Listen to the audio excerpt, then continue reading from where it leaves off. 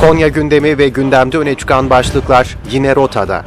Son günlerin en çok konuşulan konularından sağlık yatırımları ve nasıl uygulanacağı, merakla beklenen Büyükşehir Yasası başta olmak üzere yerel gündeme ilişkin ayrıntılar canlı yayında geliyor ekranlarınıza.